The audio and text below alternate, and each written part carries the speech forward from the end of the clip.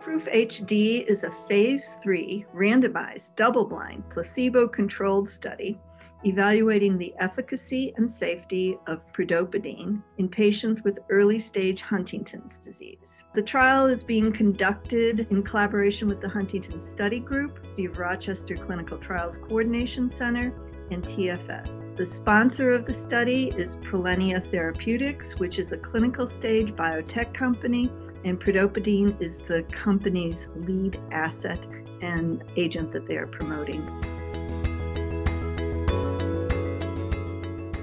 Proof HD is a phase three study trying to assess the capability of pridopidine to improve the function of patients with Huntington's disease. That's something very special we never had a drug in Huntington's disease so far to show a functional benefit in Huntington patients. We particularly look here for stage one, stage two early Huntington's disease patients, showing that these motor benefits can result in an improvement of everyday functions. We're looking for features of the disease which we can improve people's quality of life, your ability to continue to work your ability to manage finances by yourself, your ability to live in your own home, attend to activities of normal living, cooking, showering, bathing, taking care of your property.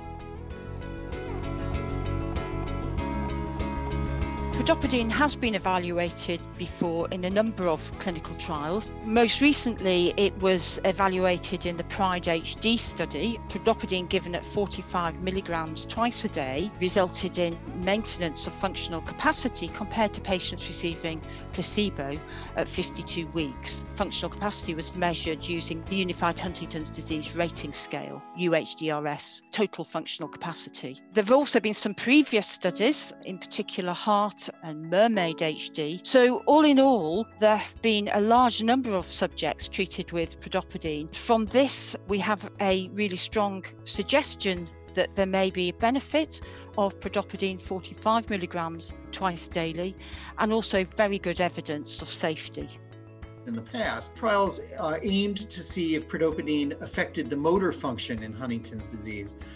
Since those trials were done, a new mechanism was discovered for pridopidine in which it works through something called the sigma 1 receptor. And because of that mechanism, there are reasons to think that pridopidine might slow the rate of change in functional uh, decline in Huntington's disease. So we've now designed this clinical trial, Proof HD, to see if pridopidine can slow the rate of functional decline in early stage Huntington's disease. We're looking actually for people of 25 years or older. The diagnosis of Huntington's disease of specific motor features that you had must have been established at the age of 18 or older. We would like to include people with motor uh, features already present, namely on this Unified Huntington's Disease Rating Scale Total Motor Score, you should have 20 or more points. And your total functional capacity must be in a certain range. Your principal investigator at your participating site will check with you. In the Proof HD trial, there is a screening period of six weeks where you need to come in and have a bunch of tests and scales done to make sure you're eligible for the trial. And blood tests need to be sent, and time needs to for we for us to get the results of those blood tests. There will also be a telephone call where we'll be doing the assessment of the primary outcome measure, the total functional capacity, during the screening visit, because we want to be able to do the total functional capacity in person. But we also want to be able to do it by phone if we have to as the trial goes on. The final visit for this primary outcome measure will be at 65 weeks. If you come into the trial early on, and get to 65 weeks before the trial's finished, we're actually going to continue following you in the double blind part of the trial until uh, 78 weeks. At that point, you will have the option to go into an open label extension trial where they know they will get the drug. There are going to be 60 participating sites. There will be 30 in the United States and Canada and 30 sites in Europe.